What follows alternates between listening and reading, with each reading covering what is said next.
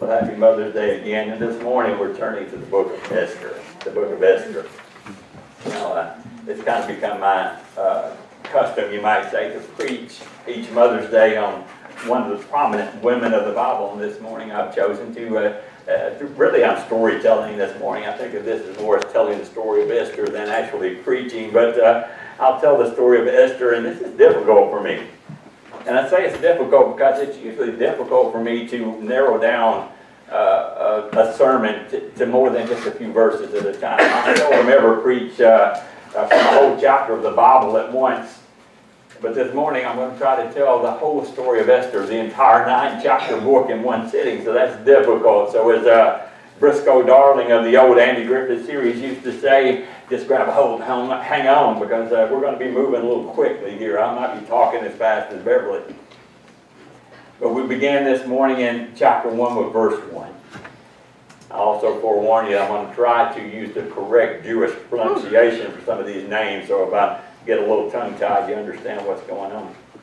Uh, now it came to pass in the days of Ahasuerus, uh, this was the Ahasuerus who reigned over 127 provinces from India to Ethiopia.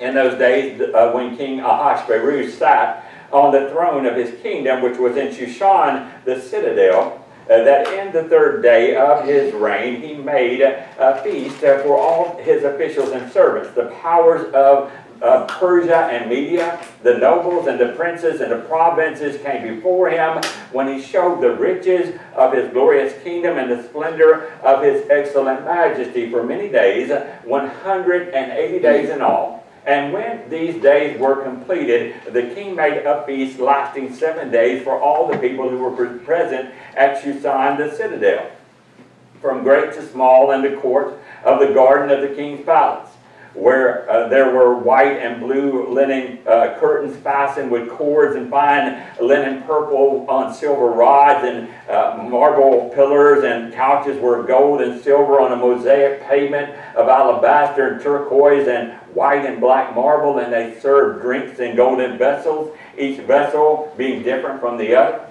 with royal wine in abundance according to the generosity of the king and, accordance to, with the law drinking was compulsory, uh, not compulsory, for uh, so the king had ordered all the officers of his household that uh, they should do according to each man's pleasure. Queen Vashti had uh, also made a feast uh, for the women in the royal palace, which be, belonged to King Ahasuerus. Pray with me just a moment. Lord, we do uh, uh, thank you again for the women of the church. Lord, we're thankful for the obedience that these ladies have and the, uh, uh, the heart for God that they've expressed, Lord, for the influence that they've had on their families, for their children and their, uh, their grandchildren, Lord. We're grateful again for the moms that we've had and the, women that you put in our past that have been so influential in each of our lives. Uh, Lord, we celebrate Christian womanhood this morning, our womanhood, Lord, just be with the women of the church, be with all the moms this morning. In Jesus' name, amen. I want to take you back for just a moment in history. Just a moment in history, about seven years prior to uh, the story of Esther, this was what was going on in the year 480 BC. There was a massive Persian army who was making their way toward a little place called Athens in Greece. The Persians were a massive empire at that time. They were the biggest empire in all of the world. They had taken over the Babylonian Empire from a king we read about in the Bible named Nebuchadnezzar. Remember his story in the book of Daniel? They had taken over all of that. Now their, their empire was the hugest empire that the world had ever known. But the problem was is they had some rebels in this little place called Athens, Greece that were causing an uprising. They were rebelling against the Persian government. So the Persians were on their way to squash that rebellion. Now, eventually, they would lose that war. Eventually, they would lose. The Greek Empire would rise up and, and take over the, the Persian Empire under the direction of a man that history now calls Alexander the Great. Now, somebody be sitting there thinking, what on earth does any of that have to do with the book of Esther? Well, let, let me explain to you that in the Greek language, the emperor of the, of, Pers of the Persian Empire at that time went by the name Xerxes. In the Persian language, he was called uh, Kashar Arusha.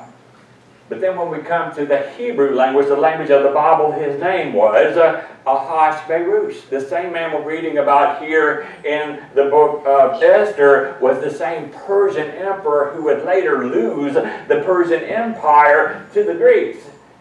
But here in this story, he also has his heart conquered by a, a young Jewish orphan girl whose name is Esther. When the time came, this woman Esther used her influence over this very powerful man to save her people, the Jewish people, the nation of Israel from annihilation.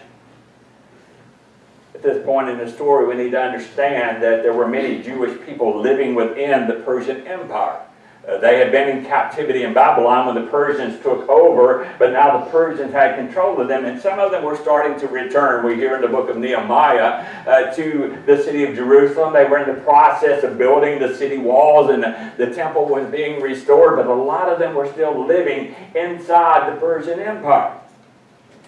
At that time, this king Ahasuerus, he had called a meeting. He had called a, a, summit, you might say, of all the, the powerful men in the empire. He called all the princes and the nobles together, and they had this long meeting that lasted six months, 180 days.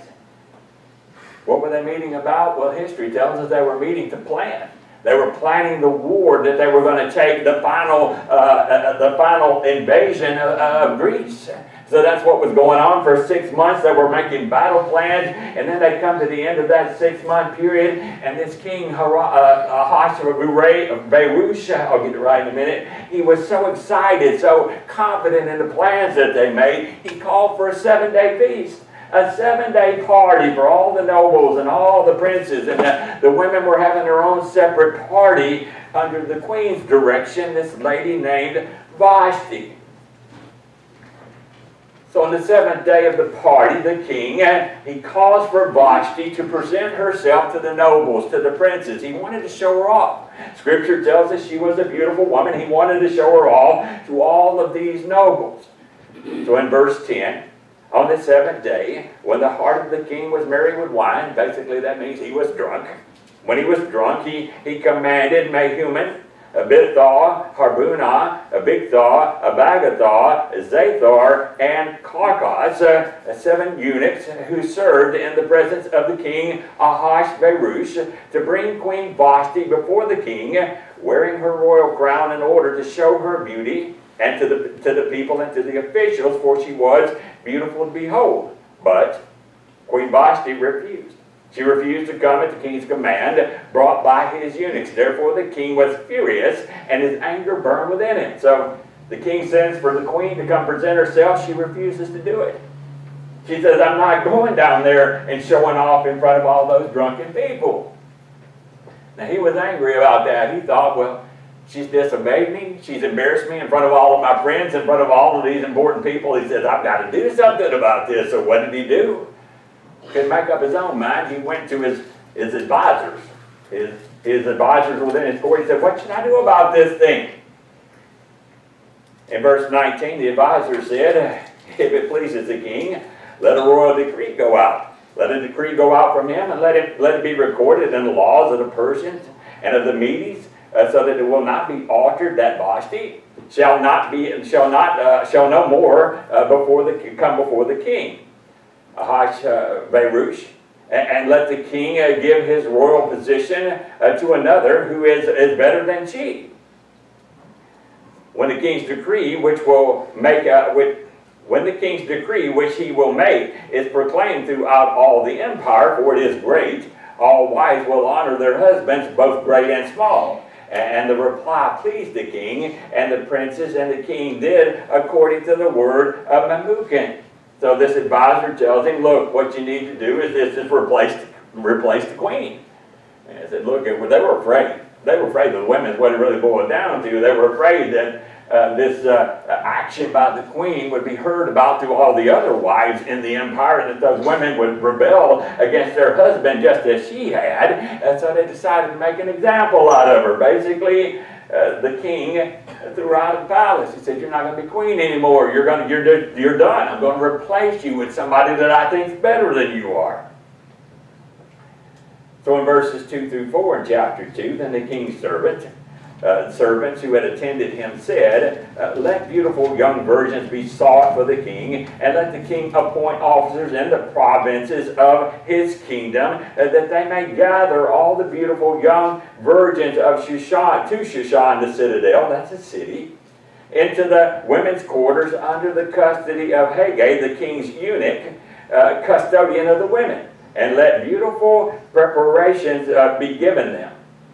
Then let the young woman who pleases the king be queen instead of Vashti. This thing pleased the king, and so he did it. So his anger against Vashti kind of settles down, and his, uh, his uh, court uh, uh people suggested to him that all of the young, uh, pretty virgins within the empire be brought before him, and that he pick one of them out to be the next queen. Sure enough, there was one in that group that caught his attention, that he was really taken with. And verse 5 of chapter 2 in Shushan, the citadel, there was a certain Jew whose name was Mordecai, the son of Yair, the son of Shimei, the son of Kish, a Benjamite. Uh, Kish had been carried away from Jerusalem with the captives who had uh, been captured with Ye- king of Judah, whom Nebuchadnezzar, the king of Babylon, had carried away. And Mordecai had brought up Hadassah, uh, that is Esther, his uncle's daughter, for she had neither father nor mother. The young woman was lovely and beautiful. When her father and mother died, Mordecai took her in as his own daughter. So at this point, we hear of two Jewish people that are brought into the story. One of them is a man named Mordecai, and one of them is this woman named Esther. Now, technically, they are cousins. Esther is the daughter of Mordecai's uncle, so therefore they're cousins. Mordecai is obviously here a bit older uh, than Esther is. He takes her into his home and he, uh, uh, he, he raises her as his own daughter. Raises her as his own daughter because her mother and father had died. She's uh, basically an orphan child that had been taken into Mordecai's house to be raised. Her name in the, uh, in the Greek or in the Hebrew was Hadassah, uh, but when she became a, a Persian, they started calling her Esther, like they did with Daniel and, and some of the other children that were brought in out of the Jewish nation. They changed their name. Her name was now Esther. The scripture tells us she was a beautiful woman a beautiful woman, and she was among that group of women who were gathered together to present uh, to the king as a potential new queen in verse 8. So it was when the king's command and decree were heard, and when many young women were gathered at, at Shushan, the city, uh, the citadel, under the custody of Hegai, uh, that Esther also was taken to the king's palace, into the care of Hegai, the custodian of the women. Now the young woman pleased him, and she obtained his favor. So he readily gave beauty preparations to her besides her allowance. Then seven choice maidservants were provided for her from the king's palace, and he moved her and her maidservants to the best place in the house of women. Esther had not revealed her people or her family, for Mordecai had charged her not to reveal it. And every day Mordecai paced in front of the court of the women's quarters uh, to learn of Esther's welfare and what was happening to her. So right, right off the bat, Esther uh, gains the favor of the man who had been put in charge of all of these women, this Hegai. He gives her very special treatment. She, she's supposed to get beauty treatments, as they said. Uh, and she gets training in court etiquette and all these things, but he gives her special favor. He gives her even beyond the allowance of what she's supposed to get. And then he provides her with seven maidservants from the king's court, and he gives her the best place in the whole house to live in. So she's getting really special treatment from this man who has charge over all these women that have been gathered together.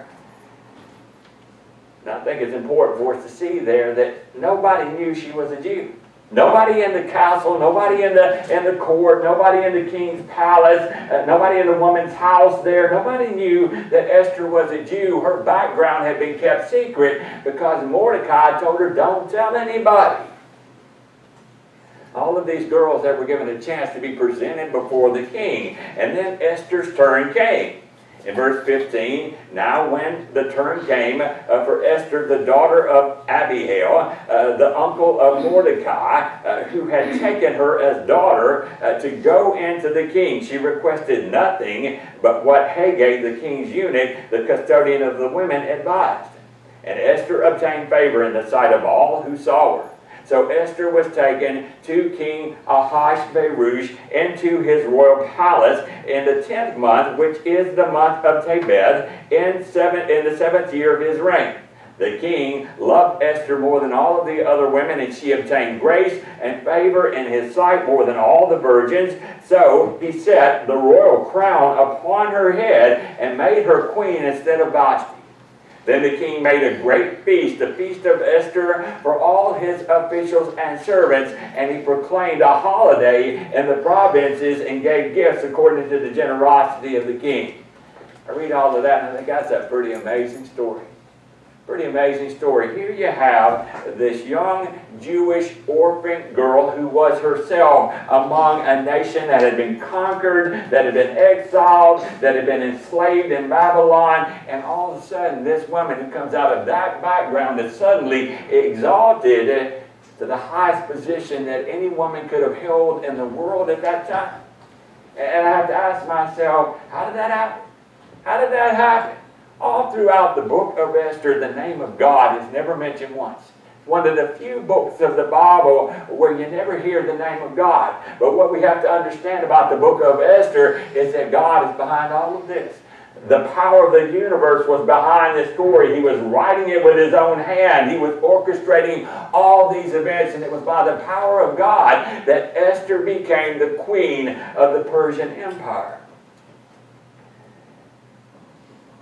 After that, the story really starts to unfold. In verse 19, we hear that Mordecai sat within the king's gate. Mordecai. He was sitting there in the king's gate. Why was he doing that? Well, he had raised this young girl as daughter. He loved her.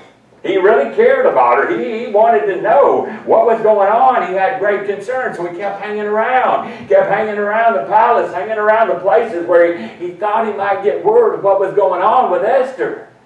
It just happened that while he was sitting there that day, he heard, a, he heard two men talking. Two men were talking with each other, and he overheard their conversation, and what they were doing was they were plotting. They were plotting an assassination against the king Ahasuerus. Now, when Mordecai heard that, uh, he told Esther, Made sure that she got word of that, and then Esther went to the king and told him what Mordecai had said. Now the king inquired about it. He had this big inquiry going on. These two men were found out to be guilty uh, of trying to assassinate the king, and they were both hanged. At that point, we hear in verse 23 of that chapter, it was written in the book of the Chronicles in the presence of the king. So all of that was recorded. All of that business of the assassination attempt and Mordecai's part in it was recorded in the official record books of the Persians. Now, that didn't happen for just any reason. That didn't happen by chance. Again, God was behind that, and we'll see in a minute just how all of that plays into this story. We come to chapter 3, we meet another man. He's a Persian man. His name is Haman.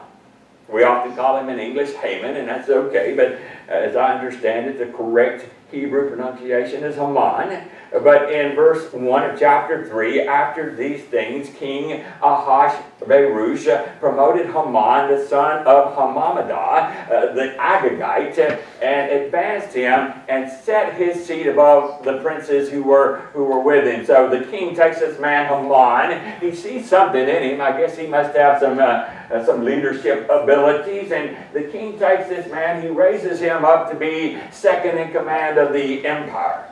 He's basically the king's right hand man. The problem with that is this man Haman, he hated Jews.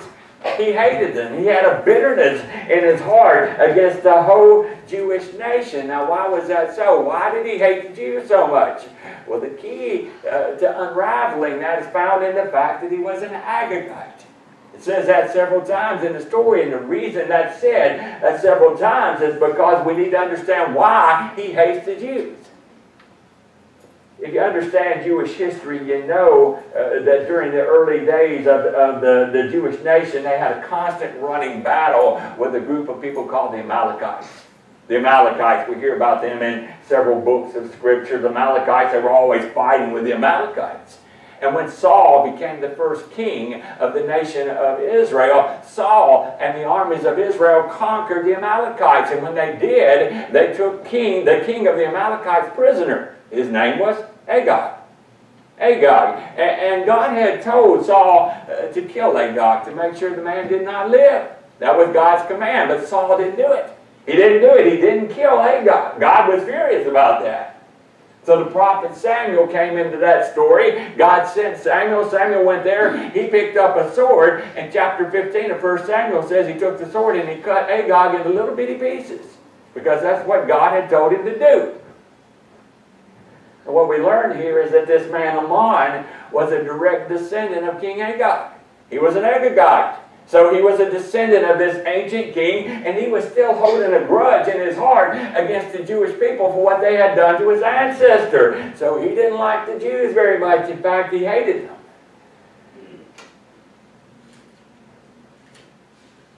Specifically, he aimed all of that hatred at one Jew, Mordecai.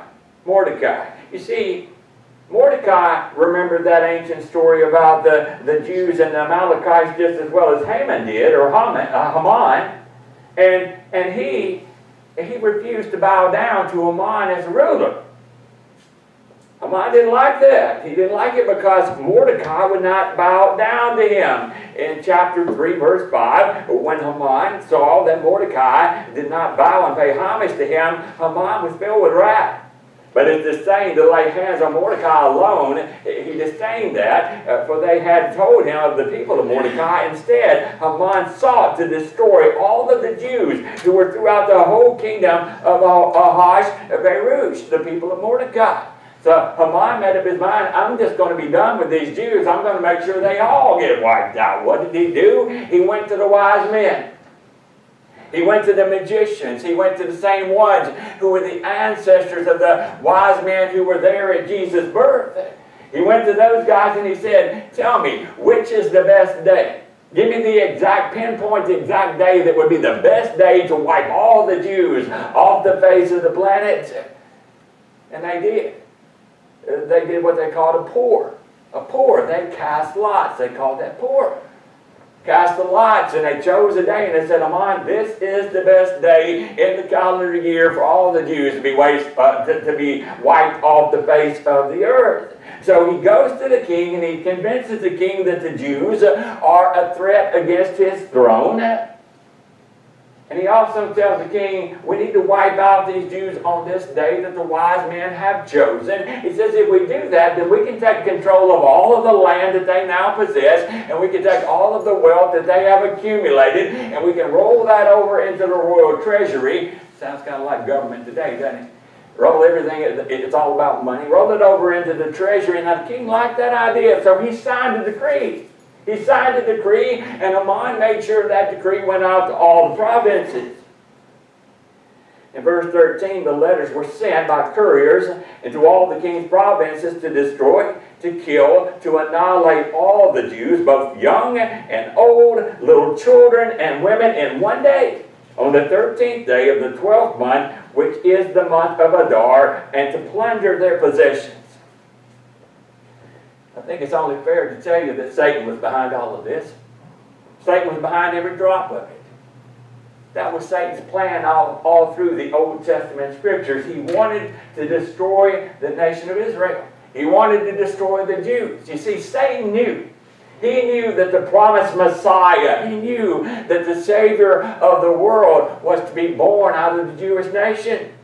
So he, he had it figured out in his mind, if I could just wipe out the Jews, uh, no Jews, no Jesus, right? That was Satan's plan. So he continued throughout all Scripture to destroy the Jews in the Old Testament, and this is just one example. How did Mordecai, how did the Jews respond uh, to all that was going on here? Well, in chapter 4, verse 1, Mordecai learned uh, all that had happened, and he tore his clothes and put on sackcloth and ashes, and he went out into the midst of the city, and he cried out with a loud and bitter, bitter cry. He went as far as the front of the king's gate, uh, for no one might enter the king's gate clothed in sackcloth. And in every province where the king's command and decree arrived, there was great mourning among the Jews, with fasting and weeping and wailing. And, and many lay in sackcloth and ashes. They were in a state of mourning. They were crying bitterly. They were weeping, crying out. It says there they fasted. We learned how uh, a few weeks ago that in biblical times uh, that fasting always occurred during times of great need. And these people were in great need. They were in need of the protection that God had promised them. So they were fasting. What they didn't understand is that God was working ahead of them. God already had a plan. His plan was already in place. While Satan was making a plan to destroy the Jews, God had already been making a plan to save the Jews, and the name of his plan was Esther. This woman, this lady named Esther. Mordecai made sure a word of all of this came to Esther. And, and, and, Esther was willing to help. In fact, he made sure that she had a copy of the decree in her hand uh, to read. Mordecai's,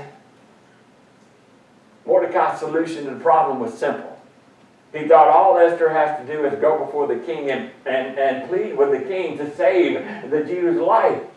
That sounded simple to Mordecai. It sounds simple to us, but in the days of the Persian Empire, that wasn't so simple because to present yourself before the king without an invitation was death. That was the law. If you came before the king without an invitation from the king, that was instant death. That, that was the law of the land. Uh, uh, Esther didn't have an invitation. She hadn't been invited to go before the king in some 30 days. She said, I don't know how I'm going to do this. How am I going to get in front of the king? So she sent word back to Mordecai about the problem and asked, What should I do? What did Mordecai say? Verse 13, he said, He told them to answer Esther, Do not think in your heart that you will escape in the king's palace any more than any of the other Jews. For if you remain completely silent at this time, relief and deliverance will arise for the Jews from some other place, uh, but you and your father's house will perish. Yet, who knows whether you have come to the, to the kingdom for such a time as this? Mordecai basically tells her, uh, you're between a rock and a hard place. If you go before the king, there's a good chance you're going to die. If you keep silent, they're eventually going to find out that you're a Jew, and just like all the other Jews, you're going to die. He says, now, we don't have to worry about the nation of Israel. Mordecai had great faith. He said, God's going to deliver Israel out of this in some form, fashion, or way, whether you do anything, Esther, or not. He said, but if you don't, a lot of people are going to die. Yourself and your family, a lot of Jews are going to die. The nation of Israel, a remnant, will be saved. But says, Who knows, Esther? Maybe God put you in this place that you're in right now for just such a time as this. How did Esther respond to Mordecai? In verse 15, Esther told them to reply to Mordecai, Go, gather all the Jews who are present in Shushan and fast for me. Neither eat nor drink for three days, night or day. My maids and I will fast likewise, and so I will go to the king, which is against the law, and if I perish, I perish. Uh, so Mordecai went his way, and he did according to all that Esther had commanded him. She bravely, Esther bravely accepted the role in this story that God had written for her. I want you to think just about how brave this woman is. She knew that if she went before the king, which was against the law, there was a good chance she was going to die. She also knew that if she kept silent, she might extend her life a little bit, but a lot of her people were going to die. She could have she could have kept the secret. She could have extended her life. She could have not told anyone that she was a Jew and just sat back and watched the Jewish people be killed. But she didn't. She decided to risk her life and go before the king in hopes of saving her people all she asked of Mordecai was that he gather together all of the Jews of the city of Shushan and that they fast for her and that they pray for her that she be protected when she went before the king. Now we come to chapter 5, verse 1. It says, Now it happened on the third day that Esther put on her royal robes and stood in the inner court of the king's palace across uh, from the king's house while the king sat on his royal throne in the royal house facing the entrance of the house. So it was when the king saw uh, Queen Esther standing in the court that she found favor in his sight. And the king held out to Esther the golden scepter that was in his hand. Then Esther went near and touched the top of the scepter. And the king said to her, What do you wish, Queen Esther? What is your request?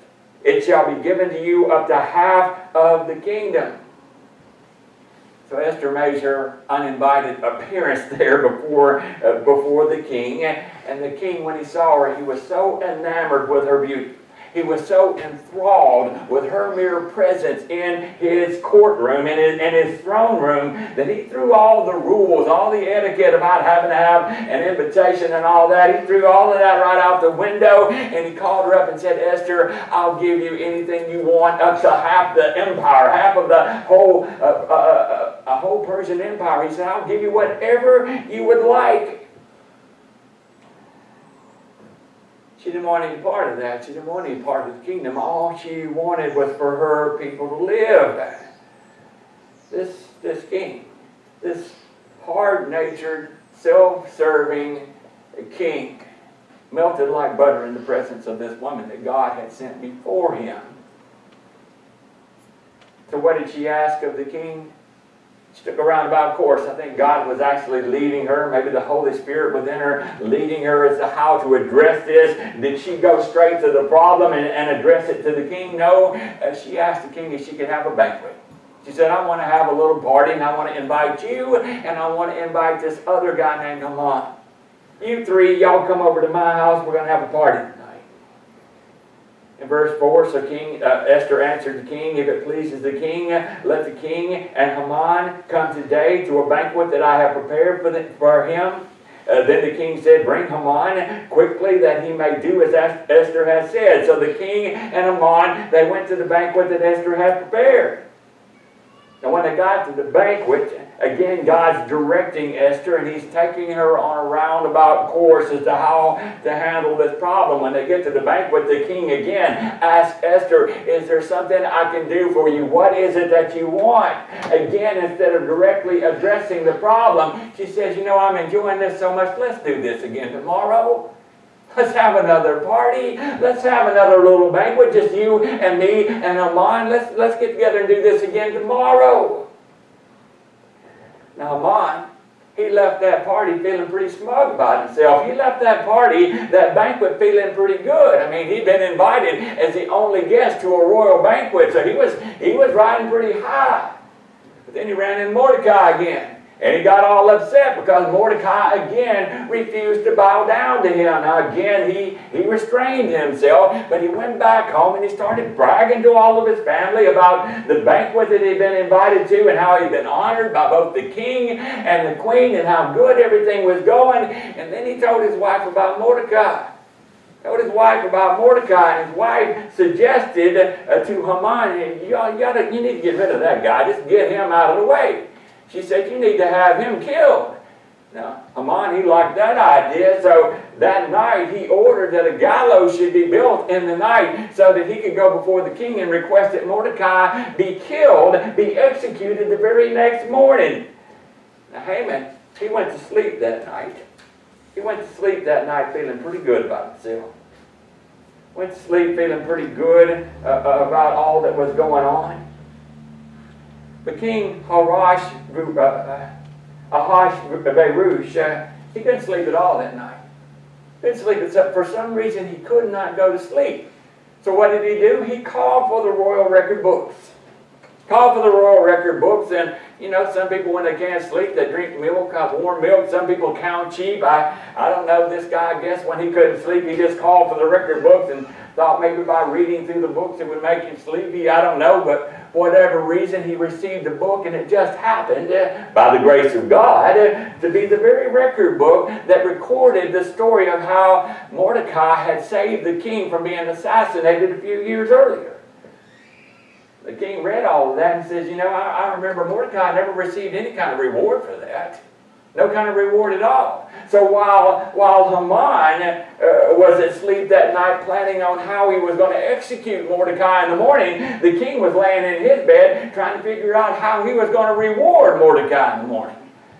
Now Haman shows up at the king's palace uh, the very next morning with the intent that he's going to ask the king if he can have uh, uh, this man Mordecai executed. But before he can get those words out of his mouth, uh, uh, the king asked, asked Haman a question. Verse 6 of Esther 6 uh, Haman came in, and the king asked him, What shall be done for a man whom the king delights to honor? King asked Haman, what, what can I do to delight a man that I really want to honor? Now, Haman, in his uh, egotistical manner, he thought the king was talking about him. I mean, he'd already been invited to two royal banquets. I mean, who, who could be more delightful than the king than he was? We thought all of this was about honoring himself. He thought it was a rhetorical question. So he, he answered and he said, You know, if I knew a man I wanted to honor like that, this is what I'd do for him. I'd put him in the king's robes. Uh, and I'd put him on one of the king's horses, and then I'd have one of the highest princes in the land parade that man all through town so all the people could see just how much uh, the king honors him. Now the king liked that suggestion.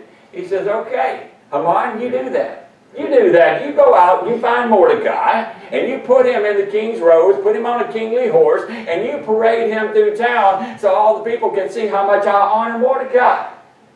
All of this blew up on Haman. He thought it was all about him. It was a disgrace for him. He had to take his enemy and lead him. He lead the parade for this man through town. He went back to his house that evening in disgrace.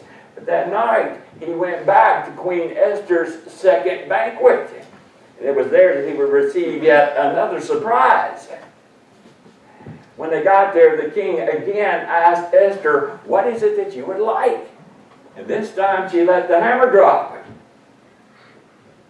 Chapter 7, verse 3 Queen Esther answered him and said, If I have found favor in your sight, O king, and if it pleases the king, let my life be given me at my petition, and my people at my request. For we have been sold, my people and I, uh, to be destroyed, to be killed, uh, to be annihilated. Had we been sold as a male or female slaves, I, I would have held my tongue although the enemy would, uh, could never compensate for the king's loss. So the king, Ahasuerus, answered and said to Queen Esther, Who is he? And where is he who would dare presume in his heart to do such a thing? And the queen Esther said, The adversary, the enemy, is this wicked man Haman. So Haman was terrified before the king and queen. The noose was tightening around Haman's neck while he was sitting there at the banquet table. He had no idea uh, that Esther was one of the very Jews that he had been trying to annihilate, trying to kill. He was scared to death. Scared to death. He, he starts begging before the queen for his life. The king is so angry, he leaves the banquet and he goes and he hangs out in the garden a while to hang out.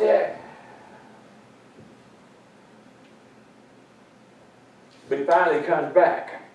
He finally comes back in verse 7 uh, when the king arose in his wrath uh, from the banquet of wine and he went into the palace garden. Uh, but Haman stood before the queen Esther and pleaded for his life. And he saw that evil was determined against him by the king. The king comes back. And what does he do? He has Haman led away. And Haman is hanged along with all of his sons on the very scaffold, the, the gallows that he had built for hanging Mordecai. Hung him on the same scaffold that he had built himself. Now you think that'd be the end of the story, but there's still a problem here. You see, the king had made a decree that the Jews would die. And by, uh, by Persian law, when the king made a decree, it could not be reversed. Couldn't be reversed. That law was still in place. So, so what did he do? What did he do? Well, first of all, he took everything that belonged to Haman and he gave it to Esther. He gave it to Esther, and, she in turn turned around, she gave it to Mordecai, and then the king exalted Mordecai and put him in Haman's place. Mordecai became the second in command of the, uh, of the, uh of the Persian Empire. So how did they handle the problem? Well, the problem, they handled that by writing a second decree. In Esther 9, verse 1, now in the 12th month, eh, that is the month of Adar, on the 13th day, the time came for the king's command and his decree to be executed. On that day that the enemies of the Jews had hoped to overpower them, the opposite occurred, and that the Jews themselves overpowered those who hated them. You see, they handled the problem by making sure that the Jewish people were armed and ready whenever the Persians attacked them. When the Persians came to destroy the Jewish nation, the Jewish people had been backed up by the king and by Mordecai, and they were armed to the teeth. And, history tells us a battle took place in which 75,000 Persians died. The Jews who were supposed to be annihilated turned it all around. And it was the Persians who were annihilated instead. History tells us the exact date when this thing happened March 7th, the year 473 BC. The Jews have been celebrating that day ever since. Ever since, it's still on your calendar today. I guarantee you, if you're looking at a calendar, you'll see the date printed on there as a Jewish holiday. In Esther 9, verse 27, the Jews established and imposed it upon themselves and their descendants and all who would join them, that without fail they should celebrate these two days every year according to the written instructions and according to the prescribed times. That these days should be remembered and kept throughout every generation, every family, every province, every city, that these days of Purim, Purim, should not fail to be observed among the Jews. And that the memory of them should not perish from among the descendants uh, uh, of the nation of Israel. Every year the Jews celebrate a day they call uh, Purim. Purim. Remember what I told you about the casting of lots? What was it called? Purim. They celebrate the day in which the lot was cast. That's why they name it this holiday. If you look at your calendars in the month of March, you'll usually find it there somewhere. On that day, they celebrate the day that God uh, used an orphan Jewish woman to change the history of the course of the world. And that's what she did. Understand, she, she saved the Jewish nation from annihilation. In doing that, she also, uh, she also played a part in the redemption history of all of us. Those of us who were saved by Jesus Christ, who were born from the Jews. So the Jews were celebrating the influence that this woman had over her people. How, that, how she had this influence that changed the course of human history. She, she uh, did what she did for the glory of God. And she did what she did to help her people Israel. Now I thought about that in relation to Mother's Day, and truly what we're doing this morning is the same thing. We're doing the same thing this morning as we celebrate mothers. We're celebrating the women that God has put in our lives that influenced us, that watched over us, that lead us, the God that made sure we were protected. We're, we're, we're celebrating the same kind of celebration that you celebrate for Esther. We celebrate this morning the women that God has used to influence us as individuals, and we celebrate the women that God has used to influence the church. We celebrate this morning all moms and all of the women of Midland Baptist Church. And that's where I'm going to end this morning. That's the story of Esther. I hope you've enjoyed it. And again, I'll end this morning by saying Happy Mother's Day. Bless all you moms and bless all the ladies of our church. And with that, I'll ask Sister Faye, she'll come up, and we'll have our closing song.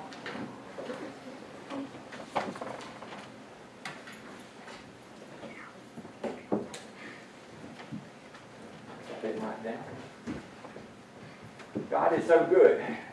Number 23, a good song to end on this morning. God is good. He's good this day and every day. Let's stand and sing this as we close this morning.